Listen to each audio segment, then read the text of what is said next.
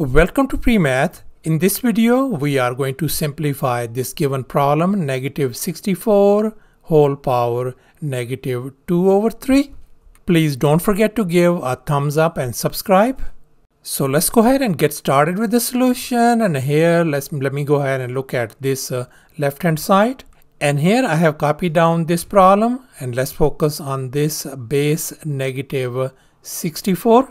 And now we can see that this negative 64 could be written as negative 4 power 3. So therefore this could be written as negative 4 whole power 3 and then we are going to take power once again negative 2 over 3 and now let's recall this power rule. According to this rule we can multiply out these nested exponents 3 and negative 2 third so therefore we can write this thing negative 4 whole power 3 times negative 2 third now we can see that this 3 and 3 this is gone.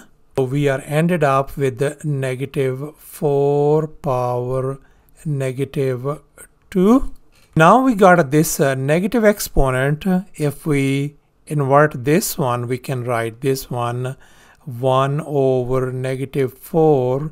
Then our exponent is going to become positive 2. And now let's focus on this negative 4 power 2. Now we can see negative 4 power 2 is 16 so therefore I can write this is equal to 1 over 16 so thus our simplified answer turns out to be a 1 over 16 thanks for watching and please don't forget to subscribe to my channel for more exciting videos. Bye